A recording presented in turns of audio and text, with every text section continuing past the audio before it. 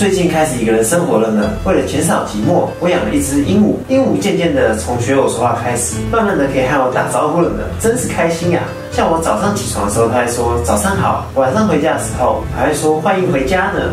它真是个好孩子啊！我们都知道海龟汤这个东西吧？前一阵子呢，我在日本的网站上面看到了，你要有心理变态，你才能够想得出来恐怖推理题。那我今天就是要来跟大家分享，看你们有没有心理变态。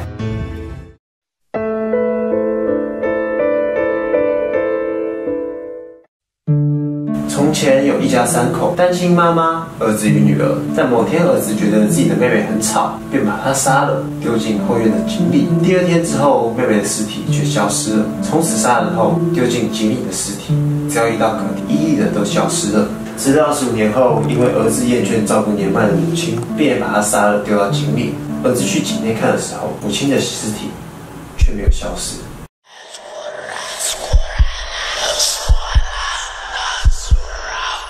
妹妹去参加亲人的葬礼，结果在葬礼上，妹妹看见一个远方亲戚非常的帅，于是便一见倾心。回到家后，便把姐姐给杀了。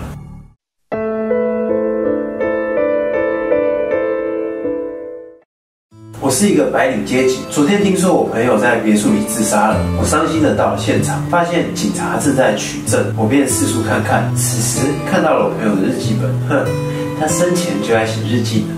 我边伤心的想着。边翻开了日记本，上面写着五月二十五，晴。屋子里泛着古怪味道，那中午就好好打扫下吧。不过有时味道会很大。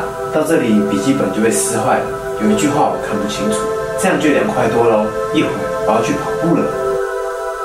刹那之间，我想到了什么，全身直冒冷汗，快速的离开现场。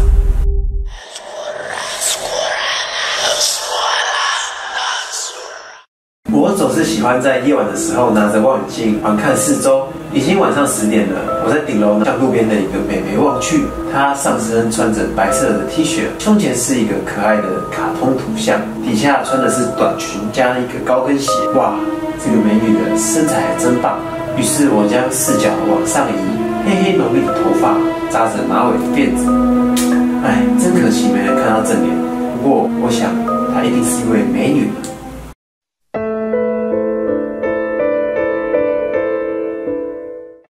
我们学校是四人一间宿舍，到了晚上，整个宿舍楼都会集体关灯，一片黑乎乎的，什么都看不到。我在床上翻了一个身，根本睡不着。嘿，都没睡吧？这时不知道是谁的声音响起，还没啊！我和其他三个小伙伴异口同声的回答。那太好了，大家都还没睡着，我们来讲鬼故事接龙吧。这个时候，小李突然大喊：“大安静，检察员来了！”于是我就用棉被盖着头，但我发现好像有哪里不对劲。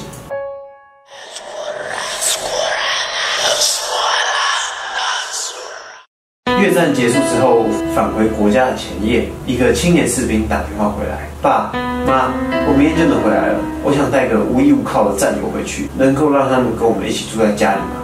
听到儿子能够回来的消息，非常的高兴。当然没问题啊！双亲喜极而泣的回答。但是有件事情我得先讲，他在作战中误踩了地雷，失去了一只手和一只腿。即使如此，我还是想带他回家。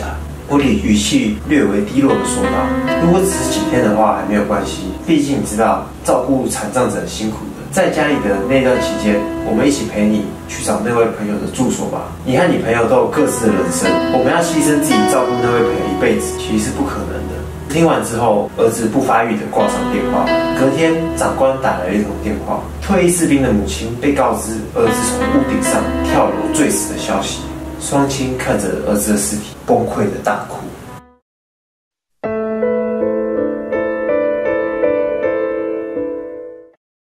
最近开始一个人生活了呢。为了减少寂寞，我养了一只鹦鹉。鹦鹉渐渐的从学我说话开始，慢慢的可以和我打招呼了呢，真是开心呀！像我早上起床的时候，它还说早上好；晚上回家的时候，还会说欢迎回家呢。它真是个好孩子啊！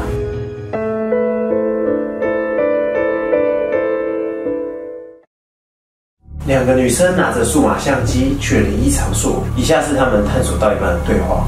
哎，什么都没拍到呢？是啊，该不会是没有鬼吧？我想回家了，要来我家玩吗？可以啊，走啊！哎，真的可以吗？可以的哦。哎，那我们走吧。